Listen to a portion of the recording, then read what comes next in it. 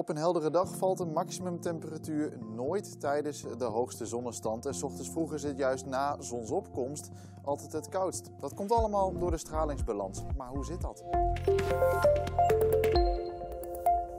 De aarde straalt net als de zon continu warmte uit. Ja, net als dat de aarde dus aan de ene kant warmte verliest, ontvangt ze aan de andere kant warmte van de zon. En de verhouding tussen die twee noemen we de stralingsbalans. De stralingsbalans volgt op een heldere dag altijd hetzelfde ritme. Wanneer de aarde meer warmte uitstraalt dan ze ontvangt, wat dus s'nachts het geval is, dan wordt het kouder en in dat geval is de stralingsbalans negatief. Overdag is dat het tegenovergestelde, dan wordt het juist warmer. Maar zodra de zon begint te zakken, wordt de stralingsbalans opnieuw negatief en dan koelt het weer af. Wat je ziet is dat na zonsopkomst de stralingsbalans niet gelijk positief is.